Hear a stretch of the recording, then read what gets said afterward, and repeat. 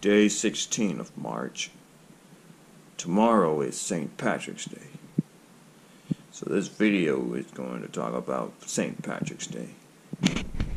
So yes guys, tomorrow is St. Patrick's Day, so when the clock strikes midnight, you guys better wear something green.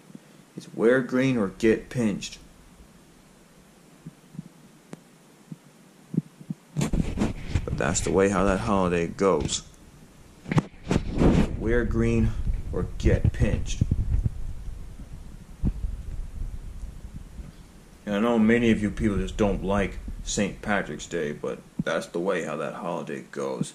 Either wear green or get pinched. So you guys better make sure you wear something green tomorrow, or else you'll get pinched. I know there's nothing special about that holiday, but except you have to wear green.